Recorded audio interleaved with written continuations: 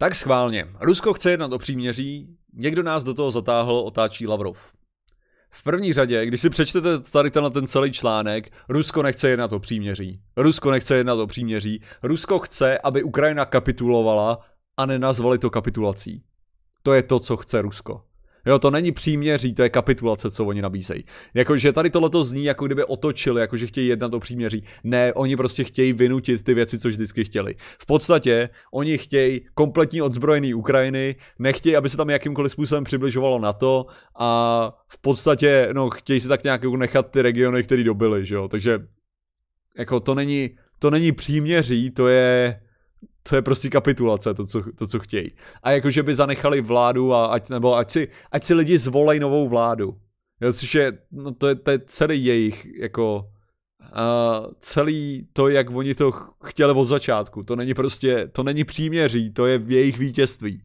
To není prostě, je absolutně stupidní. Ovšem, o čem jsem chtěl mluvit hlavně, jo, tak je to, že momentálně si myslím, že ze všech různých, ze všech různých věcí který se, který se teďka dějou, když se i koukneme tady na hlasování eh, Spojených národů a tak dále, kdy vlastně byla, kdy byla teda odsouzena ta ruská invaze, tak je velký problém. Je jeden velký problém a to je, že my jsme teda nahodili řadu my jsme nahodili řadu velkých různých sankcí, různých teda dalších ekonomických postihů, udělali jsme řadu dalších rozhodnutí, včetně těch stupidních, jo, Udělali jsme prostě hromadu různých věcí, zabanovaný sportovce a tak.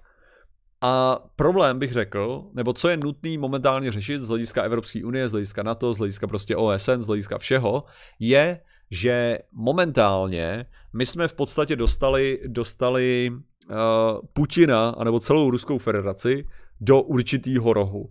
Jo, a prostě každou chvíli, každou chvíli my ten roh v podstatě je tlačíme víc a víc do toho rohu. Jo, jakože to je, to je momentální situace. Problém je, že to úplně není, jak by se mělo to dále dělat.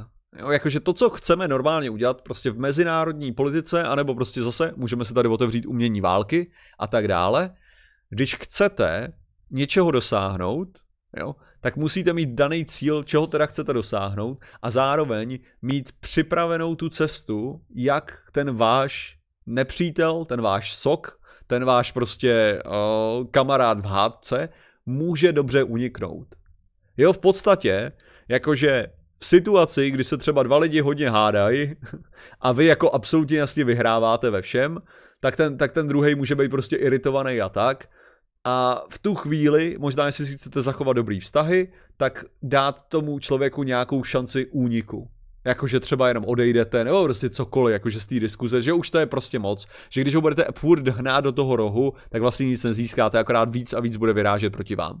To, co je momentálně nutný právě udělat, je Prostě tady je cesta, kterou teďka jdete, ta cesta je v prdeli. Ta cesta povede k válce, k horší válce, všechno bude horší. Ale tady je most úniku. Tady, když se vydáte touhletou cestou, všechno bude krásný.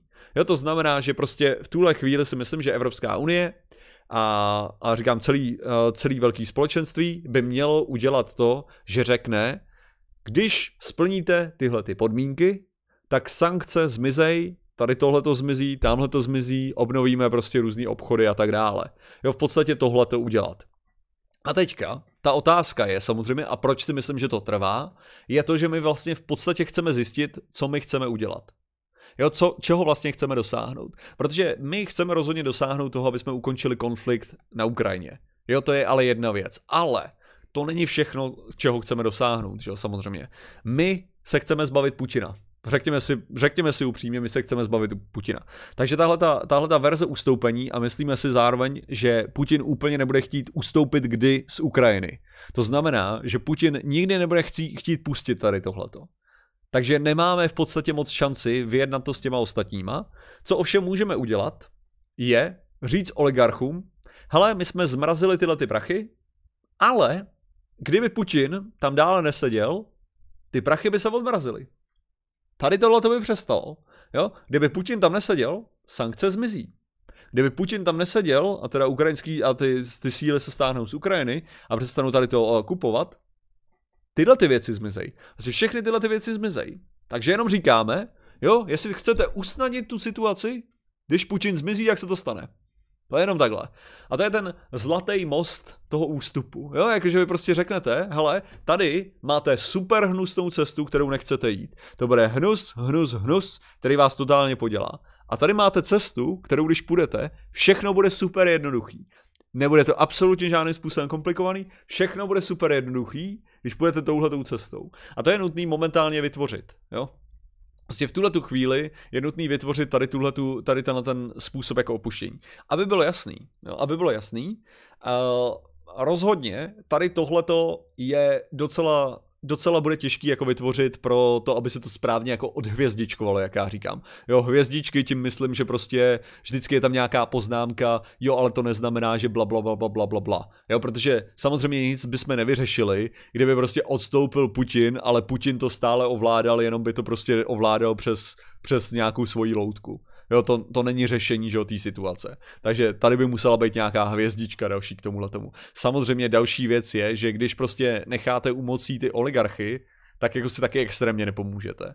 Jo, jakože to taky není úplně jako řešení, co chceme, takže možná to je takový ten způsob, jakože vybrat, vybrat těch pár těch nejmenších zmrdů, jo, a prostě těm to nabídnout, že jo, tady tohleto, jo, prostě udělat, udělat to tak, aby jako existovala ta dobrá cesta pro to kritické množství lidí. Jo, proto kritické množství lidí, kteří potom můžou ze sebe dělat hrdiny, že vlastně všechny zachránili. Jo, takže mm, to prostě v tuhle, v tuhle tu chvíli, no Sofina volba, to není jako Sofina volba, že jo, my, my to chceme přesně udělat opačně, aby to rozhodnutí bylo naprosto zjevný. To rozhodnutí má být absolutně zjevný, že zůstat s Putinem je fakt hodně velká blbost že zůstat s Putinem je sebevražedný, že zůstat s Putinem je prostě stupidní, je to ekonomicky vo všechno to přijdete a není to dobrý nápad ani náhodou. Prostě nezůstávejte s Putinem, to je důležitá věc, co chceme sdělit. Jo, ale zároveň nechceme tam, aby, aby vznikl prostě další, další nějaký idiot styl Putin. Že jo, takže to je taky něco. Ale v tuhle tu chvíli tohle je v podstatě jako ten jediný důvod, proč vlastně v podstatě dále udělovat ty sankce, jo.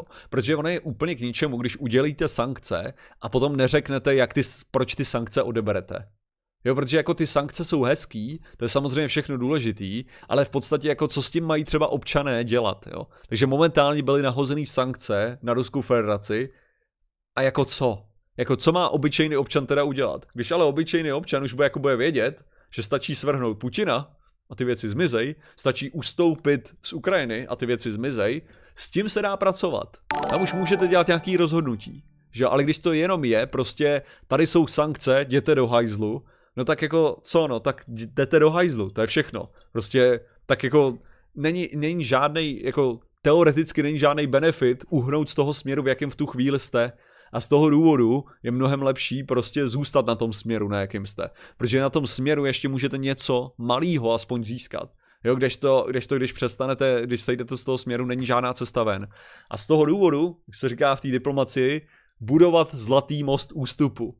Prostě musíte vybudovat to krásný, nádherný místo, který je absolutně jasná volba, kudy odejít. A to je to, co teďka musíme udělat. Jo, my už jsme udělali všechny ty nátlakové věci, teď je na čase prostě jít tu druhou část, prostě ten, ten dobrý policajt, ten špatný policajt. Jo, to je prostě ta klasická strategie. Jo, v podstatě tohle je strategie dobrý, špatný policajt. Jo, máte tady to špatného, který vás bude mlátit, který na vás bude řvát, a pak tady máte toho dobrýho, který vám vlastně chce pomoct a vlastně ty věci s váma vyřešit. Ten dobrý je v tu chvíli mnohem lepší že, způsob, jak se dostat, jak se dostat pryč z té situace blbý. Že ten zlej rozhodně ne. A tohle je právě to, my jsme, my jsme už udělali tu část toho zlýho policajta, teď je na čase udělat tu část toho dobrýho policajta.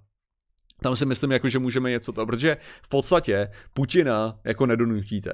Jako šance na to, že bychom, že bychom tenhle ten jako most vytvořili pro Putina, si myslím, že už je mrtvá. Už jenom z toho důvodu, že v podstatě, když jako ustoupí Putin, jakože kdyby ustoupil s tou armádou Putin, tak v podstatě jenom čekáte na to, že se vrátí. Jo, jakože to není akorát s lepším plánem. Jo, což není, není to, co chceme. Jo, že ani náhodou, ani náhodou nechceme, nechceme tady tohleto. To znamená, že my musíme, my musíme uh, už tuhle tu chvíli dostat ho pryč. A kdo zaplatí škody Ukrajině? Tohle si myslím, že je ta nejtěžší část, no. Tohle je ta nejtěžší část a obávám se, že Evropská unie. Jakože ve finále, ve finále si myslím, že, zaplatí, že to zaplatíme jako západní svět Západní svět zaplatí škody Ukrajině. Myslím si, že snažit se dostat na ruský federaci, nehledě na to, jestli tam bude náš, protože když tam bude náš jako zpřátelený režim, jo, kdyby tam prostě byl daný někdo, kdo by nebyl úplně jako mimo, tak jako chtít po těch lidech, co se snaží obnovit Rusko do nějaký formy, jako chtít po nich, aby, aby zaplatili za tyhle ty věci, je taky jako trochu blbý. Takže ano, bude to Marshallův plán 2.0, no, jestli něco.